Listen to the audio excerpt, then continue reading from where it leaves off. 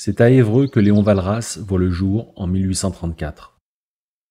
Son père, Auguste, est professeur de philosophie et d'économie.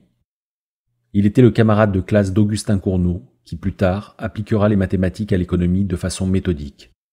Auguste persuade d'ailleurs son fils de l'importance de l'usage des mathématiques en économie. L'influence du père sur le fils allait être si grande qu'elle déterminera l'ensemble de sa carrière. Aussi, pour bien comprendre la vie et l'œuvre de Léon Valras, dans toutes ses dimensions, il nous faut nous attarder quelques instants sur le père. Auguste Valras, passionné d'économie, ne réussit jamais à obtenir une chaire d'enseignement économique. Toute sa vie, il a occupé des postes d'enseignement secondaire, de littérature et de philosophie. Il finira même sa carrière comme inspecteur d'académie, tout d'abord à Caen, puis à Douai, à Tulle, et pour finir à Pau. Il écrira plusieurs articles d'économie et deux ouvrages.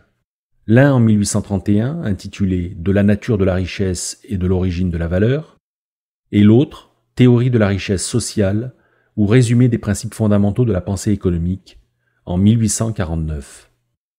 Auguste Valras s'oppose à la théorie classique de la valeur travail développée par Smith puis Ricardo, selon laquelle la valeur dépend du travail incorporé dans le produit.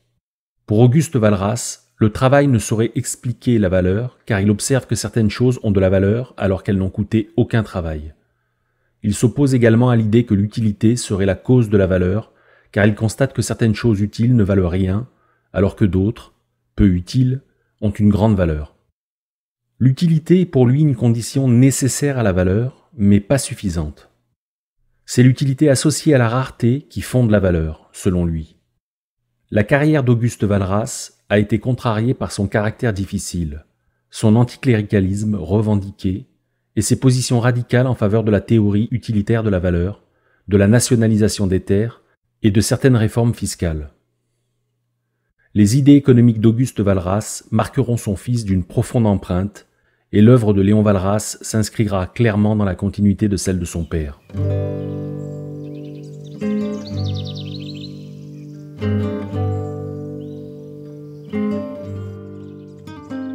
L'enfance de Léon se déroule loin d'Évreux. À Paris, de 1836 à 1839, à Lille jusqu'en 1940 et à Caen jusqu'en 1850. Il obtient un baccalauréat S-lettres au lycée de Douai en 1851. Il entame alors un cursus en mathématiques et obtient un baccalauréat S-sciences en 1853. Par deux fois, il va échouer au concours d'entrée à l'école polytechnique. Il est ensuite admis à l'école des mines en 1854, en classe préparatoire, mais échoue trois années de suite au concours d'intégration. Comme il le dit dans son autobiographie, il n'était pas aussi rigoureux qu'il le fallait pour des études d'ingénieur. Et pendant cette période, il avait consacré une partie de son temps à étudier d'autres disciplines. La philosophie, l'histoire, l'art, la littérature, l'économie politique et les sciences sociales semblaient l'intéresser tout autant. Il se met alors à écrire un roman, Francis Sauveur, en 1858, qui est un échec commercial. Son père se désespère de ses échecs à répétition, d'autant qu'il doit subvenir à ses besoins et que Léon est le dernier fils qu'il lui reste. Son deuxième fils, Henri, est décédé en 1847 à l'âge de 11 ans, et Louis, son plus jeune fils, meurt à son tour en 1858. Léon Valras raconte dans son autobiographie que c'est lors d'une promenade avec son père le long de la vallée du Gave de Pau qu'il décide de se consacrer entièrement à l'économie. Mon père m'affirma avec énergie qu'il y avait deux grandes tâches à accomplir pour le XIXe siècle. Achever de créer l'histoire et commencer à créer la science sociale. Commencer à créer la science sociale était l'obsession d'Auguste. C'est surtout sur ce point qu'il allait insister lors de cette fameuse promenade, tant et si bien que Léon Valras prend alors la décision de se consacrer entièrement à la continuation de l'œuvre de son père. Il se met à écrire des articles d'économie dans le journal des économistes, intitulés Les paradoxes économiques. Il rejoint ensuite le journal La Presse en 1860 et publie son premier ouvrage d'économie, L'économie politique et la justice, qui est une critique acerbe des thèses de Proudhon. Valras envoie un exemplaire de son livre à Lambert B, un Saint-Simonien avec lequel il était en relation. Lambert lui fait alors observer que si la libre concurrence permet de déterminer les prix et les quantités échangées, personne n'avait encore démontré que ces quantités et ces prix étaient les meilleurs possibles. Il faudrait le prouver mathématiquement.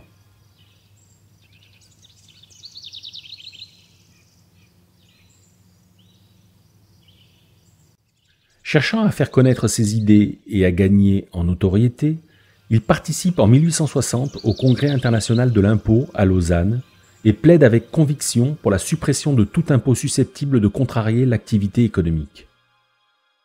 Ce faisant, il attaque vigoureusement les positions fiscales de Joseph Garnier, du Journal des économistes, et d'Émile Girardin, de la presse, ces deux employeurs, qui ne goûtent que fort peu les critiques de leurs employés à leur endroit. Dans l'assistance, un jeune avocat suisse du nom de Louis Ruchonnet est impressionné par le discours de Valras. Il jouera plus tard un rôle capital dans la carrière de l'économiste français.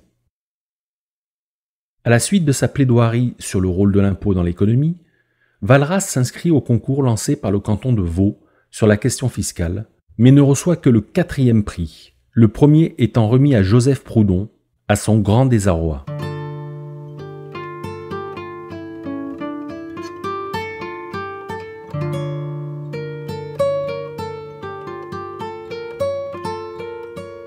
Bien que membre de la Société des économistes, Valras ne parvient pas à lancer son projet de revue d'économie politique intitulé L'économiste, le ministère de l'Intérieur s'y opposant. En 1862, il accepte un travail alimentaire à la Compagnie des chemins de fer du Nord. En 1865, il fonde, avec Léon C., petit-fils de Jean-Baptiste C. et futur ministre des Finances, la Caisse d'escompte des associations populaires de crédit, de production et de consommation une banque coopérative d'escompte destinée à financer les associations populaires. Trois ans plus tard, en 1868, en proie à des difficultés financières, la caisse d'escompte doit cesser son activité. Valras impute la responsabilité de cet échec à Léon C., ce qui n'arrange en rien ses relations avec la communauté des économistes. Dans l'intervalle, il avait aussi créé un journal intitulé Le Travail, revue du mouvement coopératif, qui s'est arrêté au bout de trois numéros pour cause de divergence de vues avec son associé, un avocat belge du nom de Constant Lérins.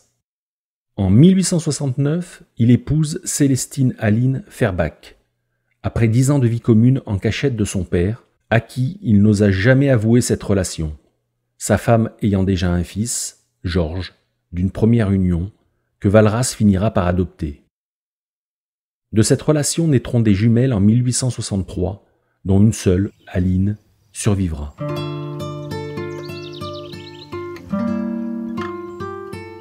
En Suisse, Louis Ruchonnet, l'avocat qui avait été impressionné par le discours de Valras sur l'impôt lors du congrès de Lausanne en 1860, est élu au Conseil d'État, où il est responsable du département de l'instruction publique. Il s'attache alors à réformer l'enseignement supérieur avec le souhait, en filigrane, de créer de nouvelles chaires comme celle d'économie politique. Il pense alors à Valras pour tenir la chaire d'économie politique qu'il veut créer en même temps qu'une université à Lausanne. Ruchonnet et Jules Ferry en France l'encouragent tous deux à se présenter au concours qui doit désigner le détenteur de la dite chaire. Après hésitation, Valras finit par poser sa candidature et obtient le poste d'une courte majorité du jury chargé de l'attribuer. Il donnera sa première conférence à la faculté de Lausanne le jour de son 36e anniversaire. À partir de ce moment-là, Valras peut se consacrer pleinement à l'analyse économique, et il ne va pas s'en priver, d'autant que la remise en question des idées économiques a déjà commencé ailleurs. Karl Menger en Autriche et William Stanley Jevons en Angleterre ont en effet publié des ouvrages en 1871 qui dénoncent le travail comme source de valeur des biens. Le temps presse Valras ne veut pas passer à côté de cette révolution en marche. Il publie en 1874 la première édition de son ouvrage majeur, Éléments d'économie politique pure. À ce moment-là, les trois économistes ignorent que leurs travaux seront le point de départ d'un renouveau de la pensée économique qui allait supplanter l'économie dite classique pour donner lieu aux écoles néoclassiques et autrichiennes. Les trois économistes font du principe de l'utilité marginale décroissante l'explication de la valeur des biens. Cette conception est un tel bouleversement qu'elle sera qualifiée de révolution, de révolution marginaliste. Mais les trois économistes ont des méthodes différentes.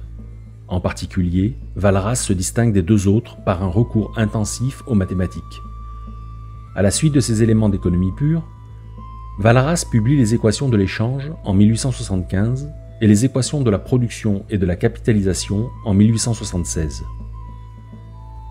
S'ensuit une série de mémoires et une deuxième édition largement remaniée des éléments d'économie pure en 1877. Parallèlement à sa carrière d'universitaire, qui lui attire une certaine reconnaissance, Valras occupe d'autres emplois afin d'arrondir ses fins de mois. Il sera consultant pour une compagnie d'assurance en 1874 et deviendra recteur de l'Académie de Lausanne de 1875 à 1877. En France, sous l'égide de son ami Jules Ferry, alors ministre de l'Instruction publique, l'enseignement supérieur évolue à son tour. Plusieurs chaires d'économie politique sont créées, mais malheureusement pour Valras, elles seront attribuées sur concours à des économistes conformistes.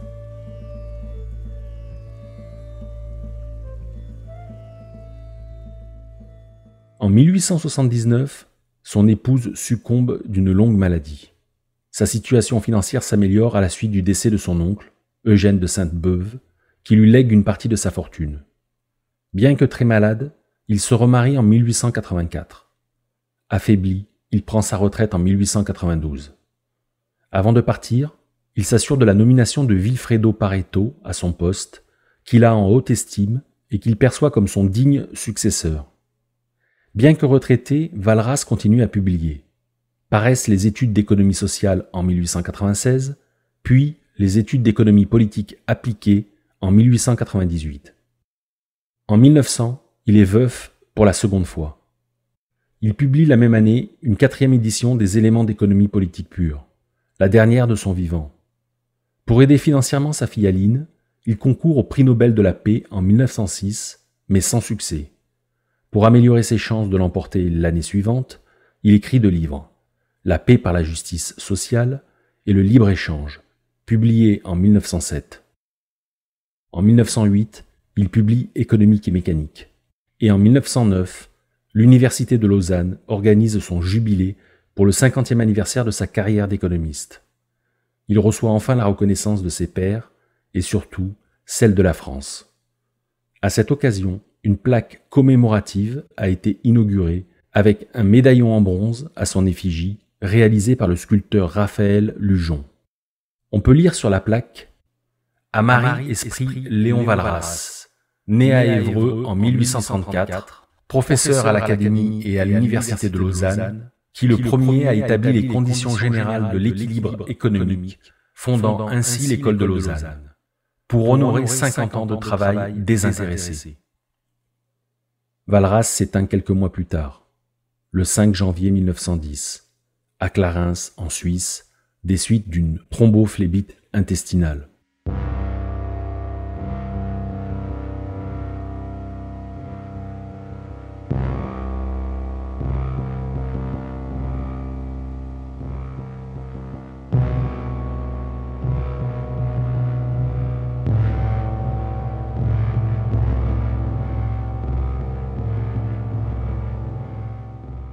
Son autobiographie témoigne des difficultés qu'il a rencontrées tout au long de sa vie pour se faire apprécier de ses pairs. À cela, on peut y voir cinq raisons. Tout d'abord, son caractère hérité de son père. Valras n'hésitait pas à attaquer ses pairs sans concession, ni sur le fond ni sur la forme, ce qui lui attira beaucoup d'inimitié. En second lieu, il remettait en cause la doxa dominante en économie, celle des classiques. En troisième lieu, c'était un théoricien sans diplôme. Quatrième raison, il faisait un grand usage des mathématiques en économie comme Cournot, qui l'avait précédé sur ce point, sans rencontrer plus de succès de son vivant. Et pour finir, il était politiquement inclassable pour beaucoup, jugé plutôt libéral par les socialistes et plutôt socialiste par les libéraux, car en réalité, l'objectif ultime de Valras est de concilier efficacité économique et justice sociale, libéralisme et socialisme ce qui l'amène à critiquer les deux camps.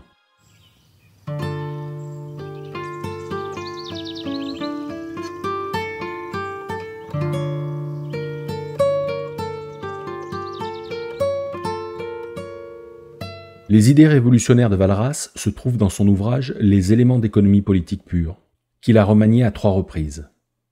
Il s'assigne comme objectif de faire de l'économie une véritable science. Il cherche à modéliser ce que serait un monde parfait, un monde idéal, charge aux politiques de rapprocher le monde réel de cet idéal. Valras est bien conscient que les hypothèses de son modèle ne se trouvent jamais dans le monde réel. Sa démarche est normative. Il veut décrire le fonctionnement d'un système économique idéal qui servira de boussole aux réformateurs politiques.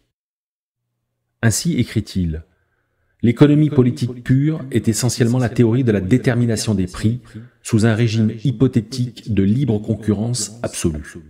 L'ensemble de toutes les choses matérielles ou immatérielles qui sont susceptibles d'avoir un prix parce qu'elles sont rares, c'est-à-dire à la fois utiles et limitées en quantité, forment la richesse sociale. C'est pourquoi l'économie politique pure est aussi la théorie de la richesse sociale. Et il ajoute, L'économie politique ne sera une science que le jour où elle s'astreindra à démontrer ce qu'elle s'est à peu près bornée jusqu'ici à affirmer gratuitement. Léon Valras part du modèle idéal de la concurrence pure et parfaite. Il se distingue de Cournot, comme il le dit lui-même, qui passe du cas de monopole à celui de duopole, et de duopole à celui de la concurrence indéfinie. Valras préfère quant à lui partir du cas général de la concurrence indéfinie pour arriver au cas particulier du monopole. Il s'intéresse au problème de l'échange en général et formule la loi de l'offre et de la demande effective, ou loi d'établissement des prix d'équilibre, comme il le précise. Il postule que l'agent économique est doté d'un comportement rationnel de recherche du maximum de satisfaction de ses besoins, c'est-à-dire qu'il souhaite obtenir le maximum d'utilité. C'est la conception de l'homo economicus, similaire à celle de John Stuart Mill, que reprend Valras. L'homo economicus a conscience du fait que la valeur d'un bien augmente avec sa rareté et diminue avec son abondance. Léon Valras se distingue de Karl Menger, en ce sens qu'il ne cherche pas à approfondir la psychologie des participants à l'échange.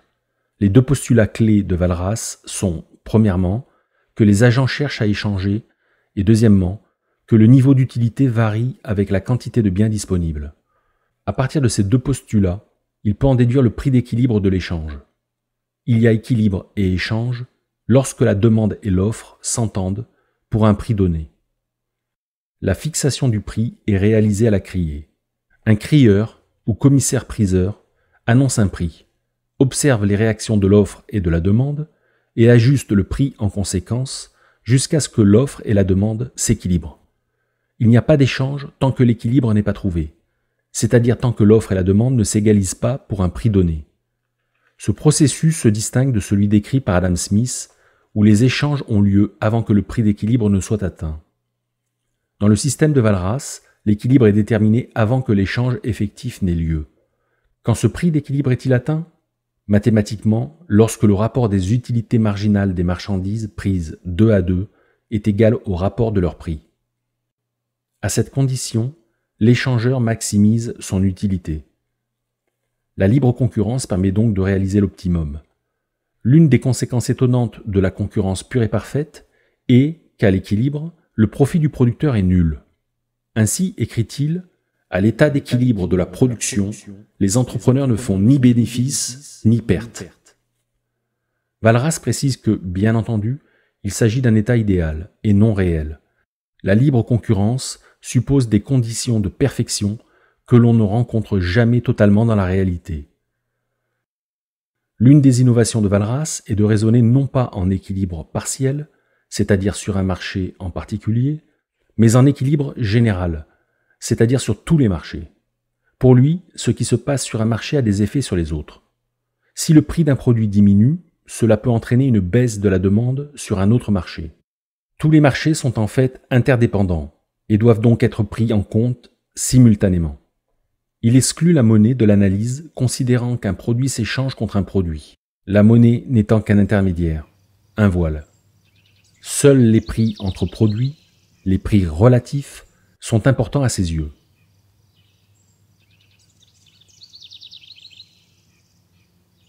Il s'agit pour lui de résoudre un système comprenant autant d'équations d'équilibre entre l'offre et la demande sur chaque marché qu'il n'y a d'inconnu, le prix de chaque bien. Avoir autant d'équations que d'inconnus est une condition nécessaire à l'obtention d'une solution unique, mais pas suffisante. Malheureusement, Walras ne parviendra jamais à résoudre son système d'équations. C'est seulement en 1956 que l'existence de l'équilibre walrasien sera démontrée par Kenneth Arrow et Gérard Debreu, tous deux récipiendaires du prix Nobel d'économie. Walras se contentera de postuler l'existence d'un tel équilibre. Dans le système Walras, l'entrepreneur est presque une quantité négligeable, pour ainsi dire. Il ne lui prête qu'un rôle de loueur-coordinateur. L'entrepreneur est celui qui loue la terre aux propriétaires fonciers, les facultés personnelles du travailleur et le capital du capitaliste, et coordonne ces trois services dans l'agriculture, l'industrie ou le commerce. En échange de leurs services, l'entrepreneur leur paye respectivement fermage, salaire et intérêt. L'entrepreneur chez Valras n'a aucune faculté particulière. Il n'est qu'un intermédiaire entre les marchés qui cherche à maximiser son profit. Mais comme en concurrence à l'état d'équilibre, l'entrepreneur ne fait ni bénéfice ni perte, il ne peut se rémunérer qu'en étant lui-même propriétaire foncier, travailleur ou capitaliste. On est bien loin de la vision de l'entrepreneur innovateur que développera plus tard Schumpeter. L'équilibre général de Valras est un modèle statique qui explique comment se fixent les quantités et les prix à un instant donné. Mais qu'est-ce qui fait bouger ces éléments dans le temps? Ce n'est certainement pas l'entrepreneur, tel qu'il est décrit par Valras. L'équilibre général de Valras s'avère donc être une représentation idéalisée de la réalité sur le très court terme.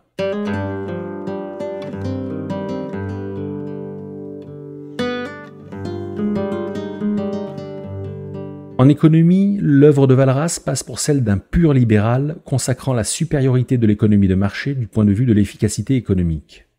Mais ses idées en matière de fiscalité et de justice sociale donnent plutôt de lui l'image d'un démocrate socialiste, comme il se qualifiait lui-même dans les éléments d'économie sociale publiés en 1896. Valras prône ainsi la nationalisation des sols pour des raisons d'efficacité économique et sociale. L'État doit assurer l'égalité des chances entre tous, et pour ce faire, il lui faut des moyens. Valras considère que l'impôt va à l'encontre de l'efficacité économique. Si l'État était propriétaire des sols, il n'aurait plus besoin de lever l'impôt, car il disposerait de la rente foncière dont il pourrait se servir pour assurer l'égalité des chances entre tous. En outre, pour Valras, la terre est un bien commun qui appartient à toute l'humanité, et pas seulement à quelques-uns et le représentant de l'humanité ne peut être que l'État. Il attribue également à l'État le rôle d'assurer la libre concurrence, en clair, d'éviter la formation de monopoles. Pour autant, il y a aussi chez Valras des exceptions à la libre concurrence qui justifient l'intervention de l'État. Il y a des services que seul l'État peut assurer, que l'on range dans la catégorie des services publics. Il y a aussi les monopoles dits naturels, dont les chemins de fer en sont un exemple, selon Valras. En 1875, dans l'État et les chemins de fer, il justifie sa position ainsi. L'État peut et doit intervenir dans l'industrie des chemins de fer, et cela a un double titre. Parce que le service des chemins de fer, en ce qui concerne les transports des services ou produits d'intérêt public, est lui-même un service public. Et parce que le service des chemins de fer, en ce qui concerne le transport des services ou produits d'intérêt privé, est un monopole naturel et nécessaire qui, comme monopole privé, ne serait fondé ni en droit ni en intérêt et qui, par conséquent, doit être érigé en monopole d'État économique. Valras est aussi favorable aux coopératives, parce que le travailleur y perçoit à la fois un salaire pour le travail fourni, des intérêts en fonction de sa cote-part dans le capital social, et éventuellement une part des bénéfices. Il a d'ailleurs lui-même fondé avec Léon C une banque coopérative d'escompte destinée à financer les associations populaires. Sur la question du libre-échange entre les pays, Valras se montre réservé. Il est en particulier très critique du traité de libre-échange Cobden-Chevalier, instituant le libre-échange entre la France et l'Angleterre. Il note que les échanges entre des pays dont les conditions sociales sont très différentes peuvent être déséquilibrés et donc injustes. Dans ce cas, il faut préalablement réaliser les réformes sociales nécessaires pour rendre les conditions de l'échange équitables.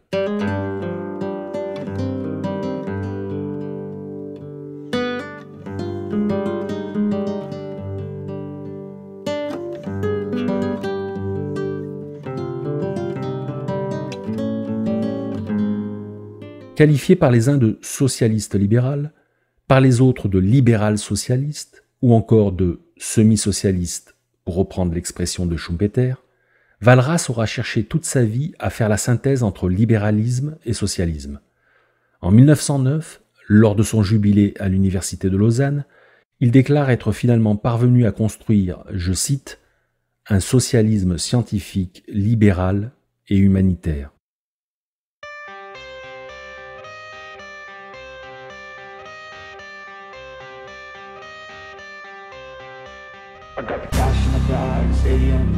Born a rock star in this life, gonna live it up on the attack. Baby, I'm bad, I just wanna get caught up in this life. I'm crazy, I'm mad, do it no cap. Only God wants you, better go live it up. Cash in the bag, stadium packed. Baby, I'm bad, baby, I'm bad. I just wanna stay bad, stay mad. Chip on my shoulder cause they treat me like an outcast. I ain't gonna take that, stay back. I'll be swinging hard till the hits come in all caps. I ain't gonna lay back, pray that someone's gonna help me. Ain't nobody like that I ain't gonna wait, that's all fact. Give me one shot and I'll never get the throne back. I'm sick of being cautious. I'ma go cause something, can't stop this. I'ma steal everybody's lane, call it shoplift. Sick of hearing everyone complain when they thoughtless Taste the pain, it's like candy canes. It makes me go change into a better frame Into a better name, society's insane. We all live for fame, yeah. Cash in the bag, stadium packed Born a rock star in this life, gon' live it up on the attack. Baby, I'm bad, I just wanna get caught up in this life. I'm crazy, I'm mad, do it no cap. Only God wants you, better go live it up. Cash